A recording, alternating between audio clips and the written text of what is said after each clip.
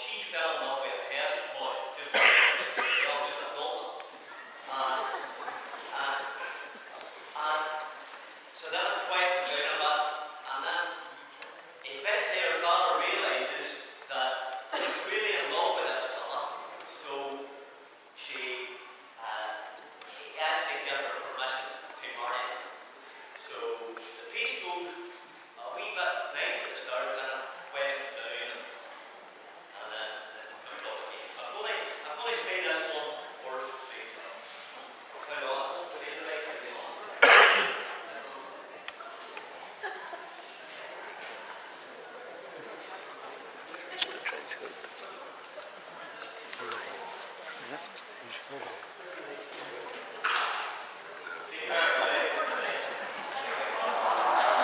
Thank you.